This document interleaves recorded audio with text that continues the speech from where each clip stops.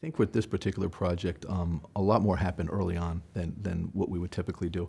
On a job like this, when the subcontractors come on board, we do a lot of coordination at that point. On this job, we did a lot of that early on with Tom Watson, Kevin Malinchini, um, in our engineering group, with Mark Donley um, and the design team. And um, a big part of that was helping them in the beginning, the design team, um, design the building. Things like beam penetrations through the structure, which on some projects kind of happen as the job's kind of being built. We did that early on um, with the design team and with our engineering group to ensure things like that um, won't be a problem, wouldn't be a problem as we move forward. Um, we helped coordinate the underground plumbing systems, which on a job this big, this spread out, was actually pretty extensive.